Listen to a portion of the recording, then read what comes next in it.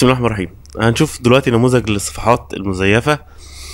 صفحات معمولة لمجرد بس إن هي تكسب لايكات كتيرة وبعد كده بيغير اسم الصفحة دي ويبيعها لأي شركة.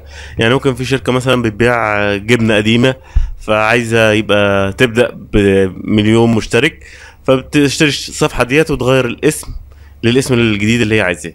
لما تيجي تبص للصفحة ديت اولا مكتوبة آه، رغد صدام حسين. مالناش دعوه بتحب صدام حسين أو ما بتحبش صدام حسين إحنا بس من الصفحة دي مش بتاعتها. الصفحة دي بتاعت حد تاني م- م- واخد لنفس الاسم. طب والدليل على كده إن أنت لو جيت هنا وكتبت رغد صدام حسين هتلاقي واحد اتنين تلاتة أربعة خمسة ستة ولو قلت له see all result هتلاقي آلاف الناس عاملين صفحات باسم الشخصية ديت. وبرضه لو كتبت آه، رئيس مبارك لو كتبت أبو تريكة هتلاقي خمسة مليون صفحة مكتوب كده الصفحة الرسمية لأبو تريكة. الصفحات الرسمية بيبقى فيها علامة هنا إن دي official وإن دي حاجة تأكدوا منها وهو بعت لهم مثلا صورة البطاقة أو هم من التفاعل مع الناس حسوا إنها صفحة موثقة تمام؟ الصفحة دي بتضحك على الناس كل شوية هتلاقيه بيقول لك إيه آه، أمان عليك لو الصورة وصلتك تدوس like وتعمل share وتكتب آه، الله يرحمك. ده بيزيد التفاعل وتظهر عند ناس كتيرة فالصفحة تبدأ تنتشر وفي الآخر ممكن ينصب عليك بإن أنت مثلا بتحب الشخصية دي مثلا بتحب ابو تريكه مثلا كلنا بنحب ابو تريكه فيروح قايل لك إيه آه، تيجي تكلمه تقول لك تقول لك والله ده أنا بلم فلوس عشان فلان مات وبتاع فتبعت له فلوس فبيبقى فيها نصب. وزي ما قلنا إن هو بيغير اسم الصفحة بعد كده لأي منتج أو يحط إعلان مقابل فلوس يعني ممكن في حد يقول له طب اعلن عن كذا وأنا أديك فلوس فالحاجات دي كلها نصب. فأنت قبل ما تعمل like للصفحه اتاكد ومن علامات الكذب إن هو كل شوية يقول لك إيه اي رجاء الاعجاب بالصفحه ال- الجديدة احتياطي. كم صدامي حر ليس سهران معانا حاليا. نسبة وجوده ب comment. إحنا مالناش دعوة بالشخصية سواء بتحب أو بتكره. هنتكلم على إن حد بينتحل شخصية حد تاني. تمام؟ التفاعل في الصفحه في تذبذب مستمر أتمنى إن أنت تعمل like يقال إن عشاق البطل صدام حسين اختفى فجأة. ده هتلاقيه في أي حاجة. يعني ممكن تعمل أنت تعمل أي حد يعمل صفحة ياسر عرفات أو مرات ياسر عرفات.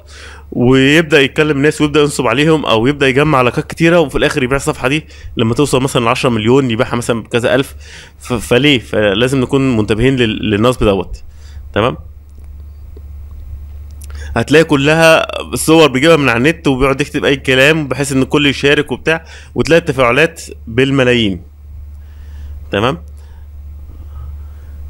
تعال نشوف صفحة تانية. هو ممكن تلاقي نفس الشخص هو اللي عاملها. تمام؟ عائشة معمر القذافي.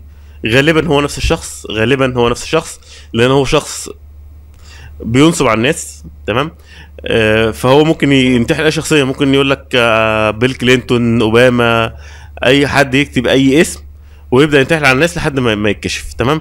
فالصفحة دي لو أنت متأكد لو أنت متأكد إنها نصب هتيجي هنا وتقول لي report page أو block page بحيث إن الفيسبوك تحس إن الصفحة دي نصب. من دلائل النصب هتلاقي كلها صور عادية خالص وكل شوية هيقول لك إيه آه المنشورات لا تصل للجميع اعمل اعمل آه share اعمل like اعمل كده. فتلاقي الناس كلها بال بال بالآلاف والملايين عمالة تعمل. تمام؟ اللي يشوف الصورة يعمل لايك والصور كلها صور عادية وموجودة في النت. تمام؟ آه، سبب إن أنا اتنرفزت وعملت الفيديو دوت إن أنا في صفحة ادعت إنها صفحة إسلامية وفي مسابقات دينية وبتسأل طبعا أسئلة كل الناس عارفاها وعايز بس ينصب على كام واحد بيبعت له رساله خاص ويقول له أنت فزت بالمسابقة تعالى رحلة عمرة وحساب فيك تاني حساب مزور بيخش له مثلا الشيخ محمد البراك يا شيخ محمد البراك! واحد عيل صغير ما بيعرفش الألف من كوز الذره بيكتب وهتلاقي غلطات إملائية يعني لو بصيت في الحاجات هتلاقي غلطات إملائية رهيبة مستحيل شيخ من المشايخ يكتبها أو مستحيل حد بيفهم يكتبها تمام؟ يقول له مبروك كسبت المسابقة طب تعال لنا في المكان الفلاني. وممكن طبعا بيختاروا البنات ممكن مثلا يحصل أي مشاكل تمام؟ فننتبه وما تصدقش أي حاجة على الفيس لأن أي حد ممكن يعمل دلوقتي أي صفحة ويبدأ ينصب بيها على الناس.